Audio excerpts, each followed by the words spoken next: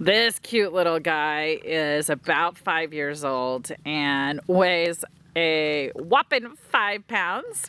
He was found in the desert. His coat was covered with stickers and thorns and a bunch of sticks. Oh, it was so tragic.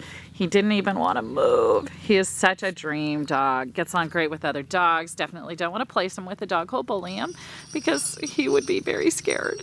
Um, but he's just a dream. Such a good-natured little guy.